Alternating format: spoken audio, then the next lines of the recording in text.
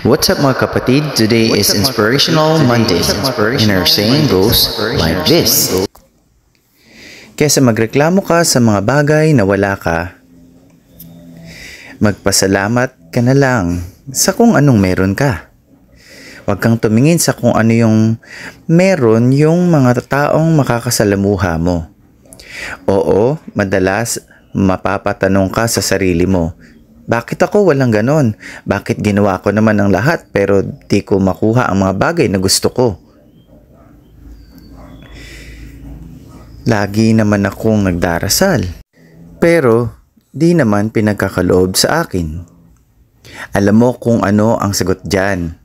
Hindi man binibigay ng Panginoon sa atin ang mga nihiling natin, pero meron siyang binibigay na hindi nating hinihiling. Yung magugulat ka na lang bakit nangyari yon. Ba't bigla akong sunerte sa ganong bagay? Kaya kung anong meron ang iba, maging masaya ka. At kung ano yung meron ka ngayon, tanggapin mo ng buong buo sa sarili mo. Dahil nilikha ang mga tao na hindi pare-pareho ang kapalaran. Be inspired and then pass on the inspiration.